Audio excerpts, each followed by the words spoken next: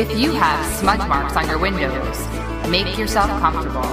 This is the Make Dogs Your Life podcast. Welcome, everyone, to episode two of the Make Dogs Your Life podcast, the show for anyone who works with dogs or wants to know a little, about, a little bit more about dogs.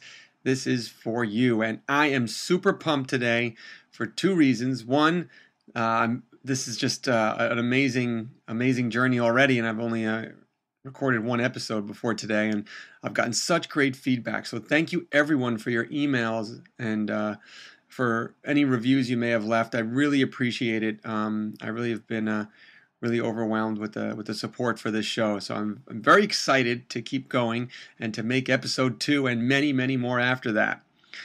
I'm really pumped about today's episode because I have a great great interview with a, an amazing author, and you know there's there's one book that I can look back on that I think is like a like an epic book about dogs and one of like the the most important books in my opinion uh, for any dog owner or lover that's been written in the last decade and that is the lost dogs written by jim gorant.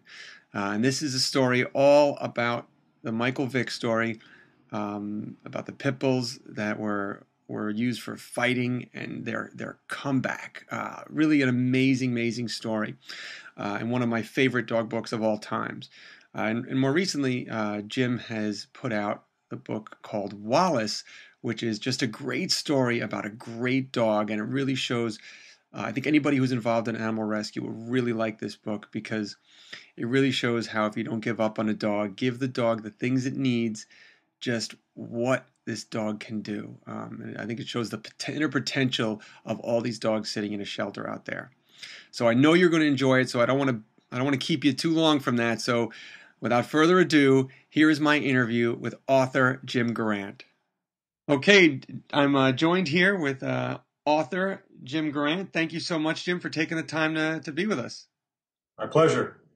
And we have, uh, if you're not familiar with Jim, he is the author of what I consider one of the most important books, uh, dog books of the decade, which is uh, The Lost Dogs, which is all about the Michael Vick dogs, which, if you've been living under a rock for the last five, seven years, is the, the story about the football player Michael Vick, who was uh, busted for illegal dog fighting.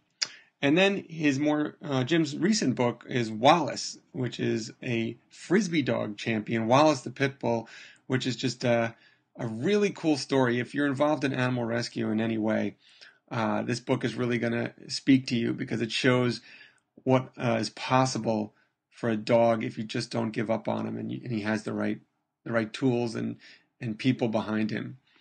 So Jim, uh, I got to start with saying, you know your background. Um, why don't you tell me? Why don't you start by just telling us a little bit of, about your background? And you know, I, I, know you you know your your background is as a sports writer for Sports Illustrated. So just give me your background and and let me know how you got involved in this this crazy world of dog writing. Well, yeah, I sort of stumbled into it. You know, I, I I've worked at Sports Illustrated for about the last ten years, but I'm not really a sports writer. I've, I've worked at eight or nine magazines over the years, and I'm just generally a writer. I, I think of myself as a writer in general. Uh, I happen to work at a sports magazine right now, so that's sort of the focus. But um, you know, I, am mostly an editor at Sports Illustrated. I work on other people's stuff, but sometimes when I get slow, I'll, I'll do a little writing on my own. And so I just came to a point in late 2008 where um, I, I, knew I was going to have a little slow time coming up, and I thought I'd try and write something. And by far, the most popular sport uh, amongst our readers is the NFL. So I was just looking for an NFL story to write, and I was doing some various Google searches, and I came across a small article that mentioned the Michael Vick dogs and that they were being rehabilitated and possibly put up for adoption. And uh, you know, I, I, just wondered what that meant. How do you rehabilitate a fighting pit bull, and, and what do they mean by adoption? Are they going to be in homes with their dogs, with children? And it just seemed really interesting to me. And of course, this was you know, the dogs were first confiscated in April of 2007. So this was almost a year and a half later. And I thought, well, where have these dogs been all this time? And it seemed like there were a lot of interesting questions to be answered there. And uh, so it just went from there. I pursued it, wrote a story for the magazine that ended up on the cover, and that turned into the book. So um, stumbled into it, and it's been fun and interesting and incredibly educational.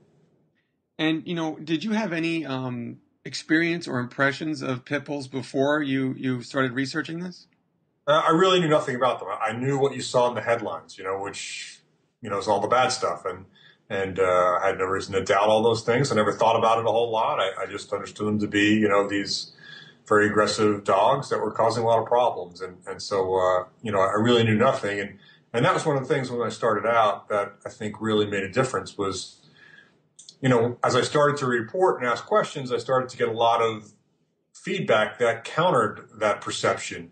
And so part of what I was after when I first wrote that initial article for Sports Illustrated was what is the truth here? What's really going on with these dogs? And, and I think that pursuit of really trying to find out, you know, the, the true answers came across in that initial story. And the idea, the fact that I wasn't, um, you know, an advocate on one side or the other, and I, I, didn't have an axe to grind, that, that really came through. And I think in the end, it made that initial story more powerful and had more of an impact because uh, it was clear that I was not trying to prove a point one way or the other. I was just trying to get to the bottom of it, and and that helped. Ah, very cool, very cool. Um, probably one of my favorite aspects of the book is how you so accurately, in my well, it seems accurately, you describe and you you kind of put us in the head, in the mind, in the body of these of these dogs that are imprisoned in the bad newz kennels and it's it's such a vivid picture you paint and i think it's some of the it's just such great writing because i was so sucked in and i thought i was that little brown dog. You know i i, I mean i i just felt it. How did you how did you paint such a vivid picture?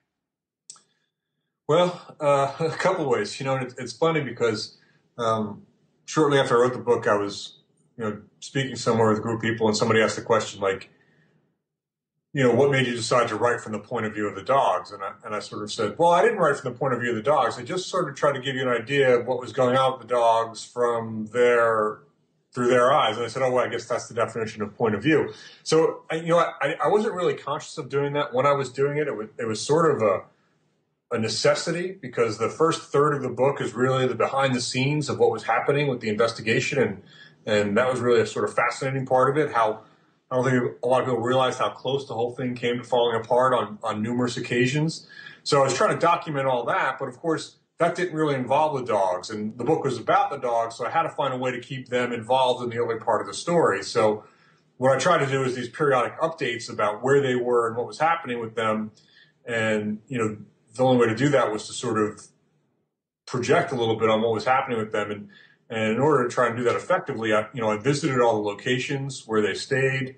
You know, I talked to as many people I can that, that interacted with them. You know, the dogs had been kept, there was a gag order, gag order, a federal gag order. So even this was two years after the fact, a lot of these workers at the shelters and so forth, you know, couldn't talk about them and wouldn't talk about their experiences with the dogs. But I was able to pick up some snippets that way. I was able to visit the places where they were so I could see what they saw. I could smell what they smelled and, you know, all that informed what I wrote. And then, you know, I did a ton of research. I read uh, a lot of books about animal behavior, including, you know, academic studies of, of, you know, dog behavior. And so I used a lot of that sort of information to, you know, integrate with what I knew specifically, with what I knew gen- then generally about dogs and how they reacted and how they behaved in these sort of situations, and uh, you know how some different sort of stimuli affected them, and you know I sort of combined all that to you know, as, as best as I could, you know, put you in the place of where they were and what they were experiencing. Wow, I mean, a really amazing job because I was just so emotionally in there, and uh, I really felt connected with those with those poor dogs in that situation. And I just, as I'm reading, I remember wondering, man, was Jim there? How, how does he, this is so is so vivid, really, really cool. Now, in uh, in my work as a dog trainer, I've had the pleasure of not really working with, but I've actually met a couple of these these prior Vick dogs. And I was wondering, um, I know you've met a couple too. What has been your impression of them now, seeing them so much after their their trauma there? Well, you know, a few things. I mean, you know, from the start, um, having never met a pit bull before doing this, uh, you know, there were a couple things that were always surprising to me. I was always surprised, for the most part, how small they were. You know, I always you always think of them as these big mean dogs, and a lot of them um, are smaller than you would imagine. There are some big ones, but you know, a lot of them were, were smaller than you thought. And the other the other sort of striking thing about them was the biggest problem for most of them that they were dealing with was fear. You know, you thought there would be these hyper aggressive dogs, but for most of the dogs they took out of this property, you know, they were afraid of everything. They, you know, they, they had any interactions they had with people were negative for the most part. So they were afraid. And beyond that, they had been lived chained up in the woods. So they had no experience with the world. They didn't know what things were. I mean, it, these dogs literally had to be taught to walk upstairs. They had never seen stairs before. You know, you flushed the toilet and they freaked out. You dropped a pan in the kitchen and they freaked out. You know, they just they weren't familiar and they and they were sort of sort of a little nervous about everything. So, you know, the, the initial thing about the dogs were just striking. You know, those two things. But then overall, you know, once you get to know them and they they get a little more comfortable around you and you get comfortable around them, you know, you they're just dogs. They do the goofy things that dogs do. They do the stupid things that dogs do. They do the annoying things that dogs do. You know, um, and in some sometimes those are exaggerated to one extreme or the other. But you know, they're basically just dogs. And and the other part about it that comes through is that you know they're all different. You know, you'd think they'd be similar. They've all come from the same place. They've all been raised the same way. They would have these similarities. But you know, at the end of the day, they're all different. They all have their own problems. They all have their own issues, and they all have their own strengths. And and so you know you come to realize that every dog is just a dog, and, and you have to sort of approach them that way. Yeah, I think if I have my numbers correctly, of the there were there were 51 dogs that were rescued there, and I think 47 of them were were saved. I think I think one I think one or two died from health problems, and uh, but I think 40 like I think if I remember my numbers, 47 of them. That's right, 47. Yeah. Okay, now, I mean, I'm a I'm an animal rescue guy, uh, and I, I can I saw I saw in the book too that it seems like everyone was surprised by that, even the experts, even the dog rehabilitators. Right. I mean, what happened was, and this was one of the really rare and groundbreaking things about the case was, you know, they confiscated the dogs, and traditionally they would be held as evidence, and then once they weren't needed, they would be destroyed, assuming that, you know, they were sort of beyond help, and that, as we all know, there's thousands and thousands of good dogs out there in shelters, so why attempt to spend a lot of time and effort and money, you know, rehabilitating this small group of dogs, you know, when there's already so many good dogs out there waiting for homes. Um, but there was such a huge public outcry. The, the federal prosecutor received so many letters and calls and emails um, that they decided to try and do something, and they partnered with the ASPCA, and they put together this, you know, sort of committee of experts to go in there and evaluate these dogs individually and, and try and see if there were any of them that, that you know, had the potential to be rehabilitated and be become you know citizens of a community. And and going into it you know of these experts sort of felt like you know maybe 10% out of 47 so maybe four or five dogs maybe we get four or five good ones we could save. And then when they went in there they, they came out with 47 you know and and that surprised everyone. And it was uh it was really an eye-opening moment and experience and, and just to see you know where the dogs have gone since then and what they've been able to do and, and how successful that's been has, has changed a lot of things and a lot of practices, um, you know, within the rescue community and within the shelter community and, and how these dogs are viewed and treated. And do you, do you have like a, a personal favorite success story of any of the Vick dogs? Oh gosh, that's, uh, that's tough. It's like asking you to pick your favorite child. you know, one of the one of the stars of the book and and who's who's uh, hard not to love is Johnny Justice. He's uh, you know he's a little guy and he's sort of got this rough and tumble attitude, but also this really sort of make the best of everything kind of attitude. And he's silly and you know and he's just a great guy. It's hard hard not to love Johnny Justice, and he's been one of the most you know inspiring success excuse me, success stories out of all of them. So um, for all those reasons, you know, maybe I would pick Johnny. Yeah, that's a tough question. Yeah, because I mean, I, I, would love them all, and everyone, you know, that I, that I've met, you know, uh, Cherry Garcia, Hector, they've all been just just sweet. They're sweet. They're they're pit bulls, you know, and they're just, you know, they're they just show like the resilience of the breed. You know, they, they can bounce back. They the good thing about dogs is they don't hold grudges. They will forgive and forget, and uh, it's really just a I'm, I'm just amazed every time I, I meet them. Um, was, what was the big public reaction to the book? I mean, I know it from the dog perspective. Every, you know, we all love it. But I mean, were people who were like, you know, pro Michael Vick, did they give you, you know, any attitude for this book or anything like that? Well, I think probably most of the people who were pro Michael Vick didn't read it. You know, certainly there was some, you know, I don't want to say negative reaction, but there were people who didn't didn't like it. But overwhelmingly, um, it was positive. The book did very well. It was a it was a New York Times bestseller, so uh, hopefully spread the word. pretty far and wide, and and um, you know I think it, it received a lot of um, critical accolades and and um, got a lot of attention. So I, I, think you know overwhelmingly positive. But like I said, I think the people who would be inclined to react to it negatively probably just didn't read it. So um, it's a little bit of a skewed audience. Okay, but yeah, so you've got uh, like I said, I, I looked on uh, on Amazon uh, yesterday, and it has 277 five star reviews. Uh, that's pretty impressive. yeah, you know, it, it, the Amazon reviews have been very really good. It was at one point Amazon had a list of like, you know, their top 100 highest rated products across all product categories. You know, and that's so it's based on Amazon ratings. These are the 100 best rated products on Amazon, and, the Lost Dogs was on that list for a long time. I, I don't know if it still is. That, yeah, that's that's really. The Amazon reviews have been very very favorable. Very very cool, very cool. Now I know because I had spoken with you very briefly um, after you had finished the Lost Dogs, and uh, you know everyone of course wants to know what your next project is and everything. And I know you were you were a little hesitant maybe to to do another dog book. What attracted you to the story of Wallace, and how did you hear about him? Um, well, you know, I'd heard a little bit about Wallace just in, in the process of doing the Lost Dogs research.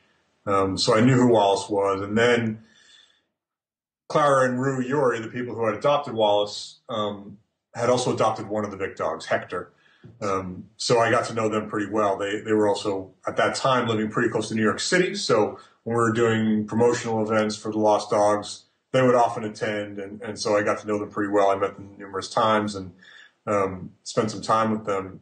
And uh, actually, Roo had the idea. He approached me and said, "You know, I've always thought Wallace's story would make a pretty good book. Would you be interested in, in working on it with me?" And, and uh, so it went from there. And you know, the appeal of Wallace, like you say, I, you know, I I didn't know that I that I really wanted to do another dog book right away. I just uh, I thought I would definitely write another dog book, but I, I, didn't know if I wanted to do two in a row.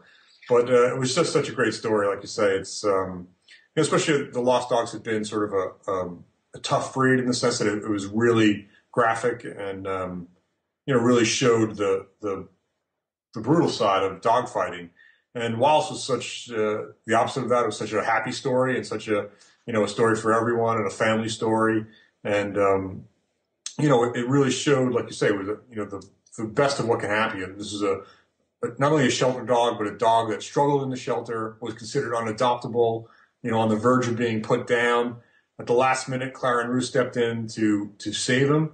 Um, and then in the process of trying to find something to do, he was just a smart, energetic dog. They stumbled into the world of competitive frisbee, and and this guy went from you know shunned rescue dog to world champion frisbee dog, and and uh, you know it's it's a great story in that sense, and and you know detailing how that happens and what goes into it, and the struggles and difficulties is um, you know, it was fun and interesting, I think, to get into it. And it was just a too good a story not to write.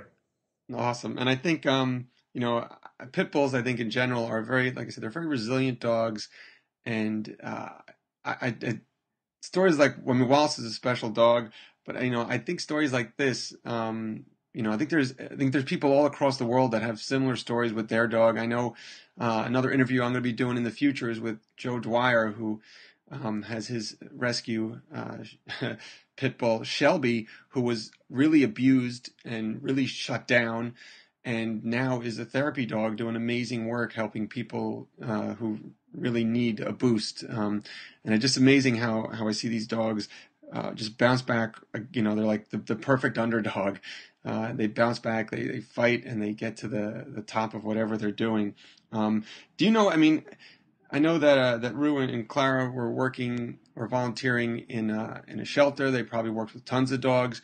What was it about Wallace that that made them go out on a limb like that?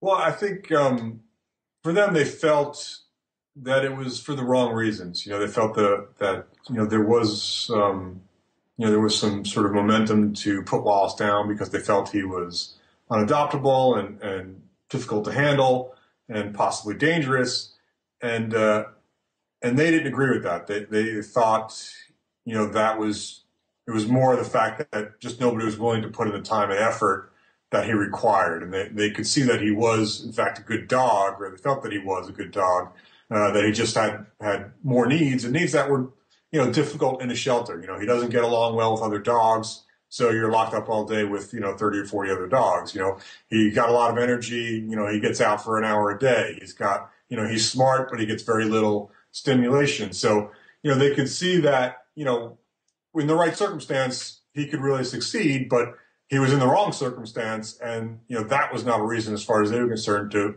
to put a dog down. And so uh, they had a problem with that approach. And, and that's what really, you know, inspired them at the, you know, at the last minute to step in and, and be the ones to take them on.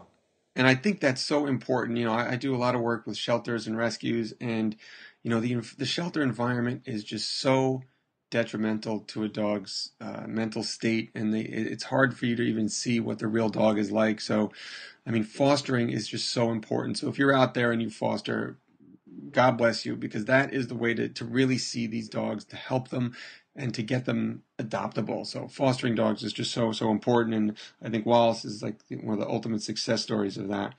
Now, a pit bull as a frisbee dog, I mean, that's pretty unique, isn't it? They usually, don't see them there. There's been very few, if, if, if any, before Wallace. But yeah, there's generally these border collies and and Australian cattle dogs, and you know these small, agile, fast dogs, and uh, you know this Wallace in particular is a pretty big guy the old big cinder block kind of head. So um, he was he was the odds were stacked against him from the start, and and certainly he raised a lot of eyebrows. And yeah, that was one of the great things about him. You know, he became sort of an icon and, and really one of the first you know pit bulls to go out there and start changing perceptions, which he did. You know, catch by catch, basically. You know, he would go show up at these events, and at the beginning it was like, oh, isn't that cute? That's nice of you to try. And you know, then he started winning, and people people started looking at him. Said, said, wow, what, what's this dog doing here and how's he doing it? And, and, uh, you know, if you had these, these perceptions about a pit bull and then you watched them go out in the field, you immediately had to change your mind. You had to rethink what you thought you knew. And, you know, then after the competition, people would come over and say, Oh, can I meet him and pet him? And they would. And, and he was great. And, you know, they had to rethink again what they thought they knew. And so, you know, every place he went, you know, he, he sort of changed opinions. He was out on the field. It's an open field where they play these things. There's, dogs around, there's people around, there's you know there's sort of nothing to stop him from getting in trouble during one of these events if he wanted to. But uh, you know he proved again and again that he was above that, and and uh, you know he he changed a lot of minds that way, and, and just showed what was possible. You know not only uh, for a rescue dog but for his breed. You know, and that was um, that was a big part, became a really big part for Roo of what they were doing, and and uh, you know drove him to to try harder and to press further with Wallace and and uh, to spread that word and, and uh, you know upend a lot of those misconceptions. And was there a lot of um, resistance, or I should say, uh, like negative um, talk, or like just people saying, "Wait, you can't have a pit bull." I'm, you know, was there resistance about the breed coming into these competitions? Uh, there was a little bits here and there. I think. Um, you know, more surprise and more concern. There were, there were, you know, especially in the beginning, there were people who were concerned about it. Like no one said flat out, you can't do that. But, um, you know, th- there were definitely some people who were, who were nervous, uh, when Wallace showed up.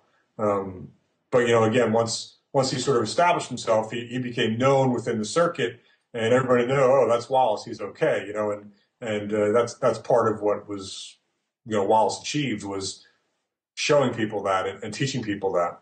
And yeah, such a great champion for the breed, just changing minds uh, every day he goes out there. Um, he really is a, a, superhero for the breed, and just to, just shows what what's capable um, of him uh, and and the, the breed in particular. So I mean, I love the story, just him changing changing minds, you know, one at a time. And if you haven't seen Wallace in action, I'm gonna if you're on the if you're listening to this on the Make Dogs Your Life website, I'm gonna link to a couple of videos from YouTube to see him in action. It's really quite impressive.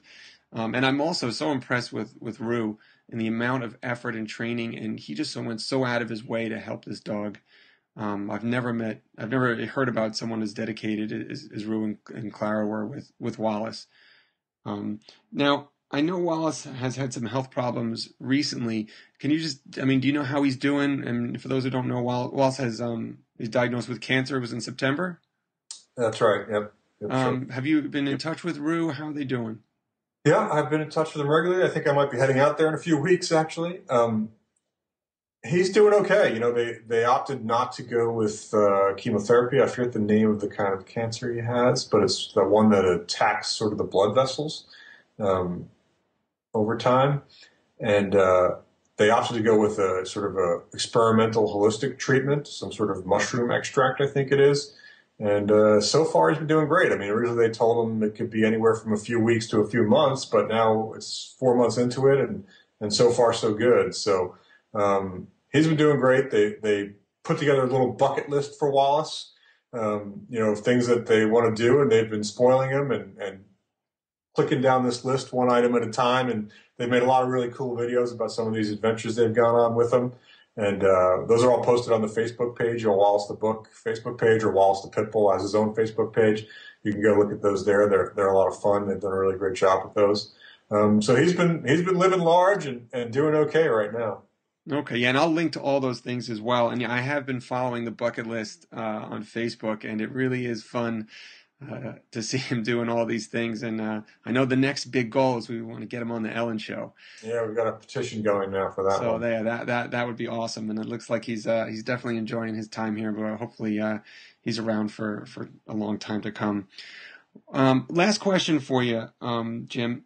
Since the release of the Lost Dogs, which was back in 2010, I believe, do you feel the the public perception of pit bulls has changed at all?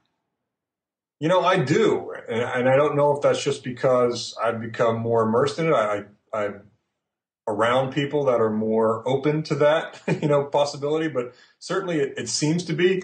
I mean, I think. I mean, I see tons of them around, or at least mixes around. I think they're being adopted more frequently. They're being accepted, um, and and that's what I see from where I am.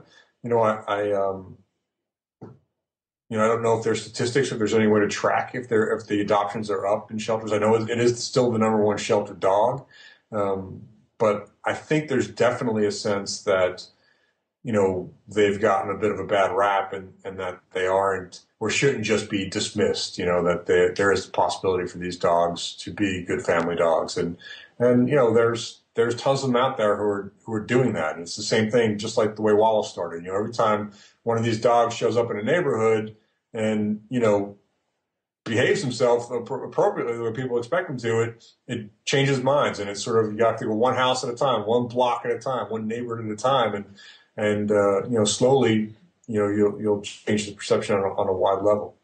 Well, I think, I think in, in books like yours, really, I think have made a, like a really monumental difference in, in changing that perception and making taking pit bulls to like the mainstream in a good way, which is rare. So, uh, on behalf of all pit bulls, Jim, thank you very much for both these books, and they're also just great reads. Um, well, what are you up to next? What's up? What's next uh, on your agenda? Uh, I don't know yet. I, they, they've me too busy at work. I haven't I haven't started anything new, but I've got some ideas. I just can't get to them. So hopefully uh, something will happen soon. Awesome. Well, we look forward to uh, to your next book, and thank you so much for taking the time with us and uh, for doing uh, these these great books about just a great breed. Thanks for having me. All right, Jim. Thank you so much. Well, there you have it. Wow, I told you that was a good interview. I tell you, I really enjoyed talking to Jim. Uh, he's a really good guy and a great writer, and I think you know has, has been one of the good voices for pit bulls. You know, pit bulls need champions. Uh, they need heroes. They need people shouting from the rooftops how great they are and championing the breed to to get rid of all this bad press they've gotten. And uh, I really, if you haven't checked out Jim's books, uh, they're a great read. He's a good writer. He weaves a really good story, um, and they're just great books. So I really, um, I really encourage you to go check those out. Um, so thank you everybody for sticking with me here. And you know what? If you get a moment, you know, give me some iTunes love. Go over to iTunes. I know sometimes it takes a couple minutes, five minutes out of your day, but it would really mean a lot to me. I would really appreciate it. And it would really go a long way in, in spreading the message and getting more people to find us here so that I can do my best to help more people and dogs, which is my ultimate goal. So if you get a moment, please do that. If you've done it or are about to do it, thank you, thank you, thank you. I really appreciate you taking the time to do that. I'm having a lot of fun here in this podcast and I want to keep it going. If you've got any feedback or suggestions or, you know, ideas for topics or people you want me to interview, you know, send me some leave me a comment either over on the blog or uh, send me an email. Just let me know. I want to make this as much as I can about you guys. So give me feedback as much as you can. I always love it. That's it. Episode two is in the bag, in the bank. It's down. Uh, I'm really having a lot of fun here. Um, have a great day in whatever you're doing, and I will see you real soon in episode three. Thanks for listening. If you're interested in turning your passion for dogs into a career as a dog trainer, head over to makedogsyourlife.com. See you next time.